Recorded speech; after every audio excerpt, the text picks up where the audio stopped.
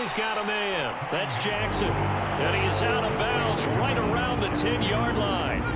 Give him 13 yards on the connection, but not enough. Fourth down.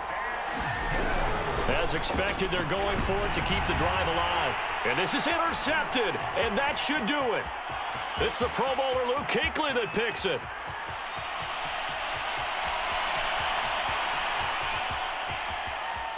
And he was taken.